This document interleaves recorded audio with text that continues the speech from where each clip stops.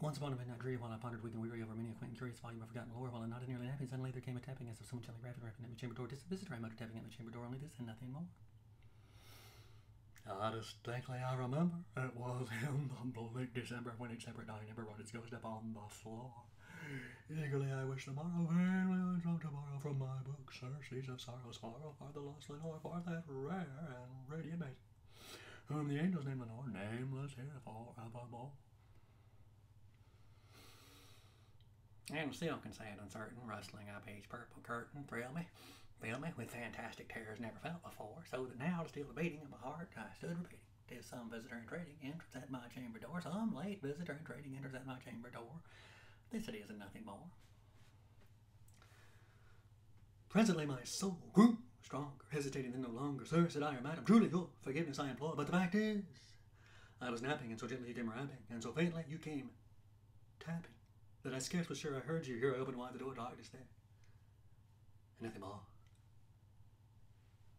Deep into the darkness, peering long, I stood there wondering, fearing, doubting, dreaming dreams no mortal ever dared to dream before. But the silence was unbroken, and the stillness gave no token, and the only word there spoken was the whispered word Lenore. This I whispered, and an echo murmured back the word Lenore, merely this, and nothing more.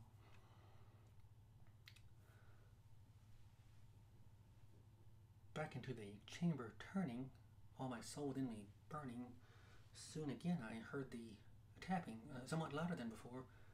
Surely, said I, that is something at my window lattice. Let me see then what thereat is, and this mystery explore. Let my heart be still a moment, and this mystery explore. Tis the wind, and nothing more.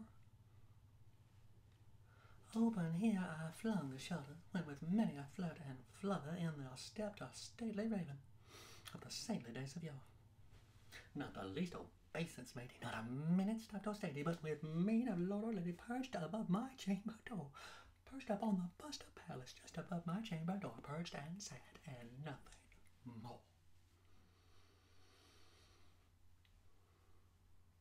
Then this ebony bird beguiling all my soul, my sad fancy into smiling by the grave and stern decorum of the countenance it wore. Though thy crest be shorn and shaven, thou, I said, art sure no craven, ghastly grim, an ancient raven wandering through the nightly shore. Tell me what thy lordly name is on the night's Plutonian shore. Quoth the raven, nevermore. Much I marvel this ungainly founder here discourse plainly to which answer little meaning, little relevancy for, for we cannot help agree that no living human being ever yet was blessed with seeing bird above his chamber door, bird or beast upon the sculptured bust above his chamber door with such a name as nevermore. But the raven, sitting lonely on that placid bust, spoke only that one word, as if his soul in that one word he did outpour. Nothing further than he uttered, not a feather than he fluttered, till I scarcely more than muttered, Other friends have flown before. On the morrow he will leave me as my hopes have flown before. Then the bird said, Nevermore. Startled by the stillness broken, by reply so aptly spoken, Doubtless said I wanted utters is its only stocking store, caught from some unhappy master, whom unmerciful disaster followed fast and followed faster, till his songs one burden bore, till the dirges of his hope a melancholy burden bore, never, nevermore. But the raven still beguiling my sad fancy into smiling, straight I wheeled a cushioned seat in front of bird and busting door. Then upon the velvet sinking, I betook myself to thinking, fancy unto fancy thinking, what this ominous bird of yore, what this grim and gainly ghastly gaunt ominous bird of yore meant in croaking nevermore. This I sat, engaged in guessing, but no syllable expressing, To the fowl whose fiery eyes now burned into my bosom's core.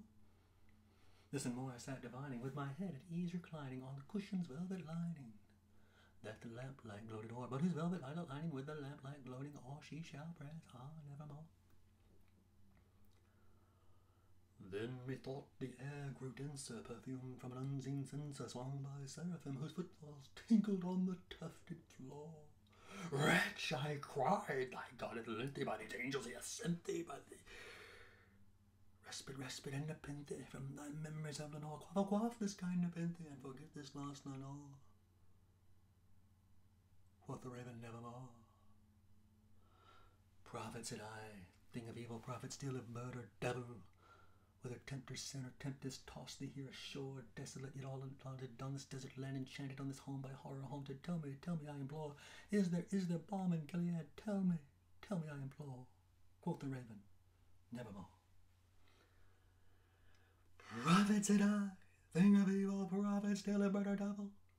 By the heaven that bends above us, by the God we both adore. Tell the soul of sorrow laden, if within that distant Aidenn it shall clasp that sainted maiden whom the angels name Lenore. Clasp that rare and radiant maiden whom the angels name Lenore. Quoth the raven, nevermore. Be that word our sign of parting. Bird or fiend, I shrieked, upstarting. Get thee back into the tempest and the night's Plutonian shore. Leave no black plume as a token of the lie thy soul hath spoken. Leave my loneliness unbroken. Quit the bust above my door. Take thy feet from out my heart, and take thy form from off my door. Quoth the raven, nevermore. And the raven never flitting, still is sitting, still is sitting on the bust of Pallas, just above his chamber, uh, just above my chamber door. And his eyes follow the seeming of a demon's that is dreaming, and the lamplight o'er him streaming throws his shadow on the floor. And my soul from out that shadow that lies floating on the floor shall be lifted nevermore. Brought to you by Zero Theology.